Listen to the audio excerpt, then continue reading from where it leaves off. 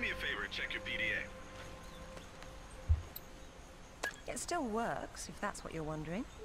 Cool. They said it was waterproof. You should be able to swim with it, no problem.